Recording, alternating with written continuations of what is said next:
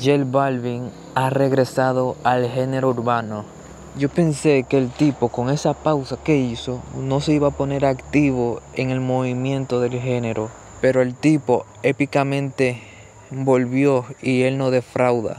El día de hoy me topé con publicaciones de J Balvin al lado de la influencer y artista Jerry Moa. Aunque le voy a ser sincero, yo vi eh, una foto de J Balvin junto a Jerry Moa el sábado y la publicación decía que J Balvin ya no sabía a quién recurrir y que se había rebajado a complacer a personas como Jerry Moa, a comprarle ropa, a no sé, a llevarla a cierta parte. Pero yo pensé que eso era para, no sé, pegarse como TikToker o algo así.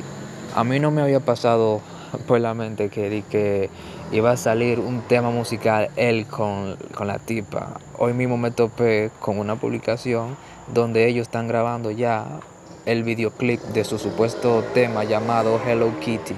Y las publicaciones no acaban ahí. El Facebook me lo llenaron de estos dos individuos.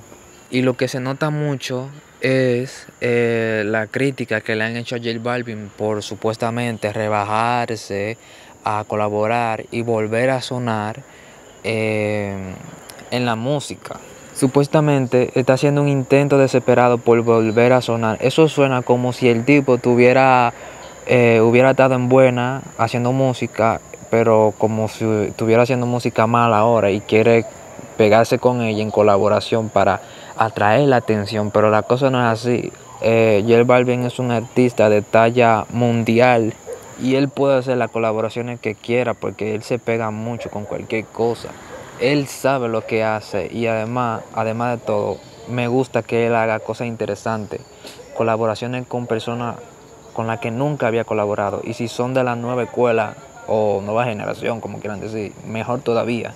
A mí, en mi opinión, me gustaría que J Balvin colaborara con muchos artistas mexicanos, además de Jerry Moa, Kimberly Loaiza, o Javi, Kenia Oz o hasta el grupo Frontera. ¿Y ustedes qué opinan de esta futura colaboración? Yo espero que el cantante no decepcione. Solo quiero que sea un buen tema.